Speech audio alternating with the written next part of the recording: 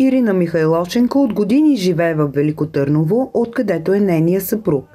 Не е прекъсвала връзката с Киев, където допреди пандемията е преподавала в Института по дълбочинна психология и психоанализа. Она находится, моя дочь и мама находятся в Киеве.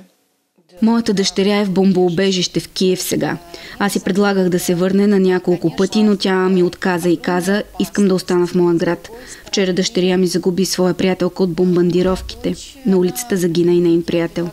Всеки ден от Ирина търси помощ Тоня, което още в първите дни на войната се изнесло със семейството си в село около Киев, тъй като домът ти бил разрушен. Да, ты меня слышишь, родная? Да, слышу, слышу, Да. Как вы? Как вы? Держусь, держусь, Ириш. Я ничего, к сожалению, не слышала еще от своих. Ирина обяснява, че по време на война за украинците, които са в шок, най-резултатни са методите на кризисна терапия.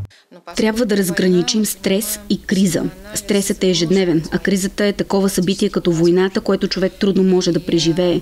Настъпва пълен блокаж и тук е ролята на кризисния терапевт, който трябва да посочи път за преодоляване. Може чрез емоцията, чрез физически дейности, творчески. Поддържам духа и на колеги, които пък работят с хора, загубили близки. Много от украинците избират да останат в дома си, тъй като това им дава чувството, че се борят и че са живи. Ирина е подала свои контакти в посолството на Украина в България и е готова безвъзмезно да оказва психологическа подкрепа на свои сънародници.